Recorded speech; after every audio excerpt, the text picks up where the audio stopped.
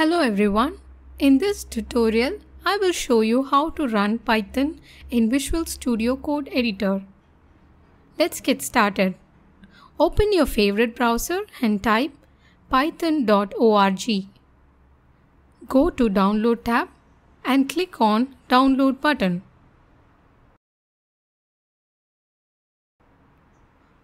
Once the download is complete, double-click the downloaded file an installation wizard should pop up.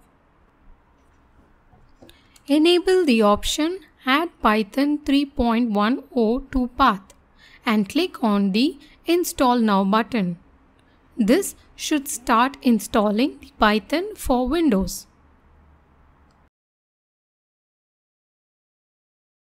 To ensure Python has been successfully installed, click on the Windows button and type cmd.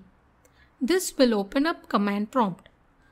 And type the following command python hyphen hyphen version. This should display the install python version. Now we are going to install Visual Studio Code. For this, go to code.visualstudio.com and click the download button. Once the download is complete, you can open the file in the folder and double click the downloaded file. And you will see the installation wizard popping up. Use the default settings to install VS Code.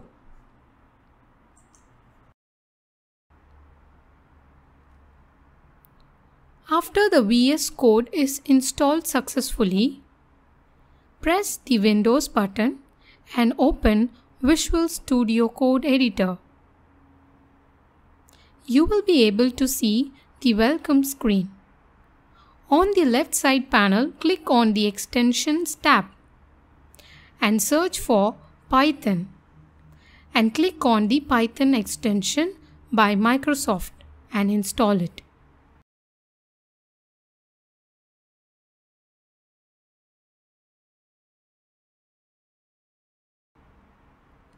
Once it is installed, go to the Explorer tab on the left panel and click on Open Folder button.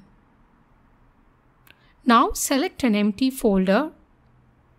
In our example, I will be creating a folder called Python. Now create a new file by clicking on the New File button. Name the file as main.py. Now let's try to print a statement as subscribe to Salow Studios in our Python script. Now save the file. You will be able to see a Run button on the right side of the Visual Studio Code. Click on it and it should successfully run the program. Awesome! We have successfully created our first Python program in Visual Studio Code Editor. If you find the video helpful, please hit the like button and comment your thoughts below. Do subscribe to our channel for more videos. Thanks for watching.